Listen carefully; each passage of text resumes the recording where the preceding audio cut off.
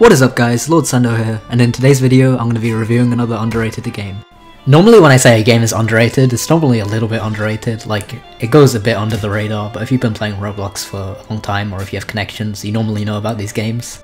This game is nothing like that, and in my opinion, it's the most underrated game that I've reviewed on my channel.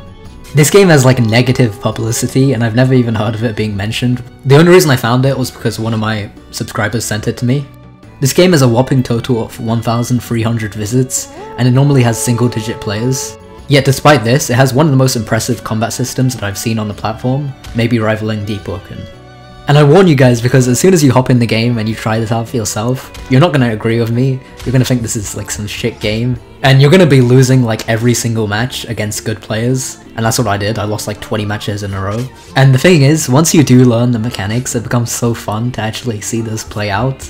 There are so many different playstyles in this game. You can actually get Force Hammer which one-shots, and it has massive range and long wind-up, but it has some obvious counters, but you can also do some things with the kicking and the punching mechanics to make those counters less obvious.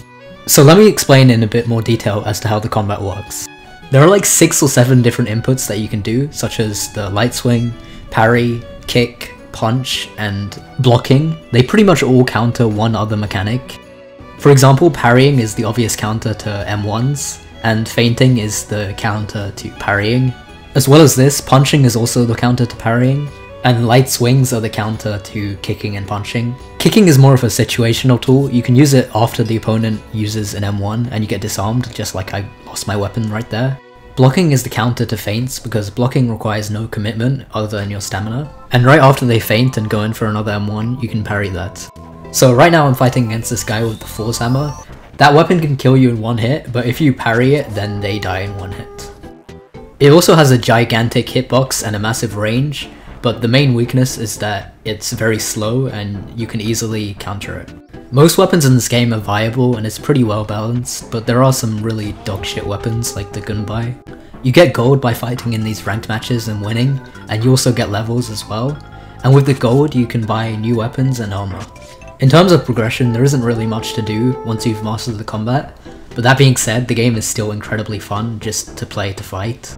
I played about one and a half hours versus the same three people, and we just did nothing except for 1v1s. Also, when you spawn, you'll only have fists as weapons, but don't worry because fists are probably one of the best weapons in the game. This game is very harsh to beginners, and it's gonna take a while before you understand how to actually play properly.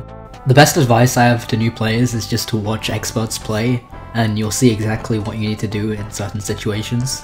I like this game a lot, but it's not perfect by any means, and I do have some suggestions. There could be more game modes than just a free-for-all and 1v1s. They could include stuff like deathmatch and team deathmatch and do like a ranked lobby that way. Also, they could add weapon-related progression, such as getting a thousand kills with a certain weapon will give you a skin. Sort of like how ABA's gold skin works, to encourage you to play for a long time. This game has some great potential and I'm looking forward to see what the developer can do. It definitely deserves some love, so I advise you guys to go and check it out, join the Discord server, and say hello to the community. I'll leave the link to the game in the pinned comment and in the description, and if you're quick enough, you might see me in game. Alright, that's all I have for this video, but I do want to make a quick announcement. As a request from one of my subscribers, I'm going to be making a full beginner's overview for Deepwoken. This will be something that you can just send to a friend who knows nothing about the game, and it will basically tell them all the important info, and perhaps convince them to buy the game. If I skip an upload tomorrow, it just means that I'm working extra hard on that video, so just keep that in mind. Alright guys, thanks for watching and I will see you in the next one. Peace out.